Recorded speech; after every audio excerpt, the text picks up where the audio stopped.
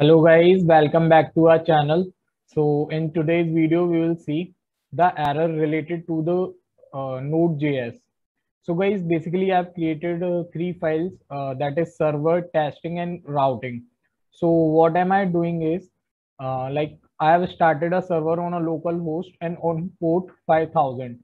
Earlier I was, uh, now you can see that my server is not running because in the Visual Studio Code, when I'm running the server, I'm getting some error that is type error router.use required some middleware function but got a object.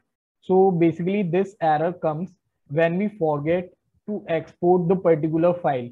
Like guys, here you can see in the testing, I've created a function called testing and inside that I'm having this get categories object and I'm also exporting this with the help of module.exports and uh, now I've written the name of the function.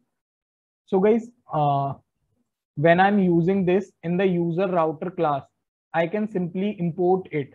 Like here you can see const test equals require and the name of the file.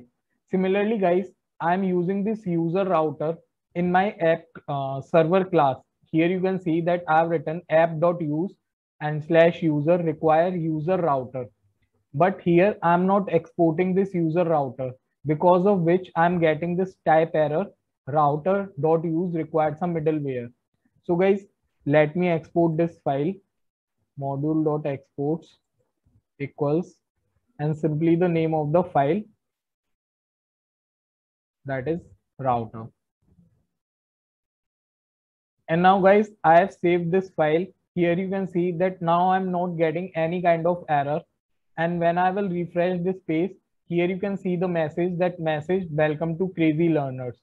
So guys, this was the reason behind the error that whenever you uh, forget to export a particular file, you will get a error related to the router.use middleware.